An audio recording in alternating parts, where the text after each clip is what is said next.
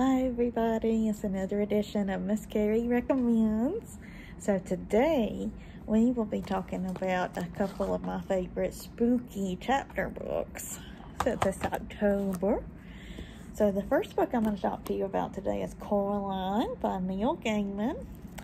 And it also has a movie, too. I highly recommend both. I recommend this book for maybe kids 10 and up because it can be a little bit scary for really little kids. Um, but this book is about a little girl named Coraline and she's just moved into this house. Well, excuse me, it's an apartment building. It's a house that's been divided into apartments.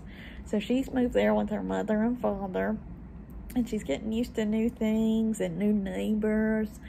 And one day she finds this tiny door and she asks her mother to unlock it.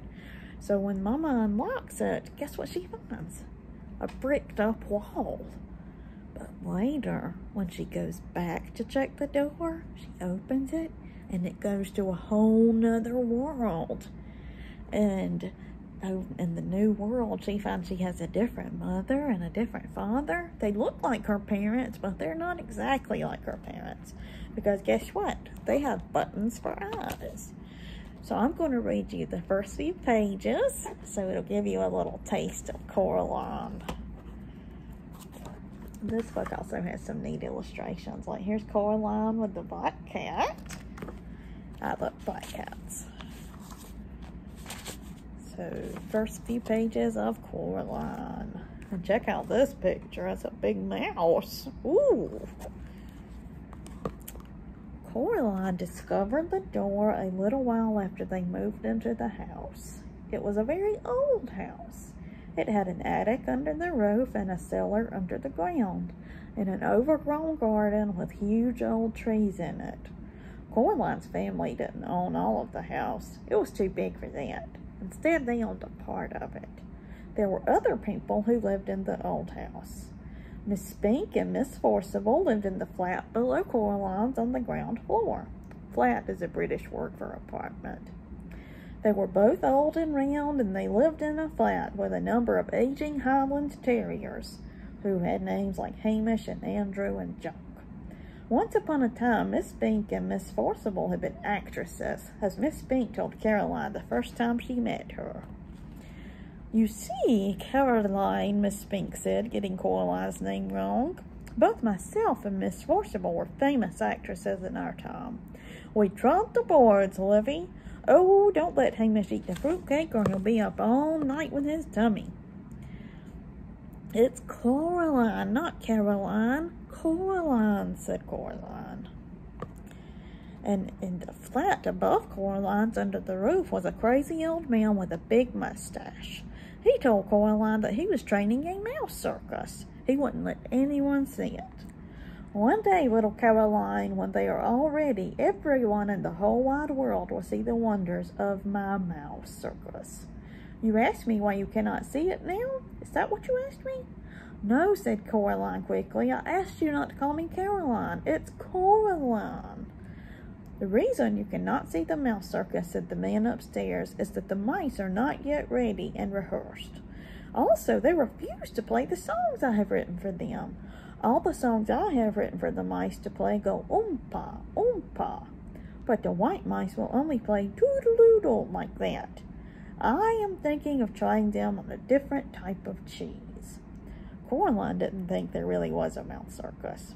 Mouse circus. She thought the old man was making it up. The day after they moved in, Coraline went exploring.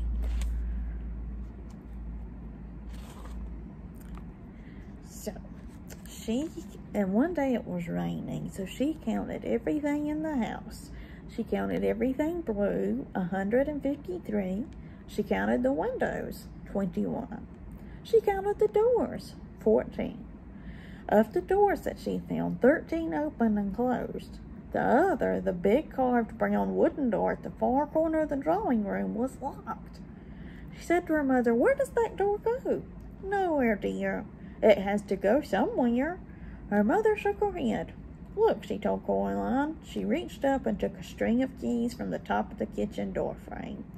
She sorted through them carefully and selected the oldest and biggest, blackest, rustiest key. They went into the drawing room. She unlocked the door with the key. The door swung open. Their mother was right. The door didn't go anywhere. It opened onto a brick wall. So that's what she thinks, but I've already told you that that's not what happens. So, if that sounded interesting to you, we have this book to check out at the library. And we also have the movie. And I'm going to show you a couple of other books that you might like if you like spooky books. So this one is called The Old Willis Place. And it's a ghost story too by Mary Downing Hahn. And it's really cool. I like that cover too. And of course, the one of the most popular spooky books are the Goosebumps series by R.L. Stine. And we've got lots of these. This particular one is called The Girl Who Cried Monster. So I'm going to read the synopsis to you, the, the summary. Lucy likes to tell monster stories to her, and her friends and family are sick of it. Then one day, Lucy discovers a real life monster the librarian in charge of the summer reading program. So it'll be like Miss Carrie.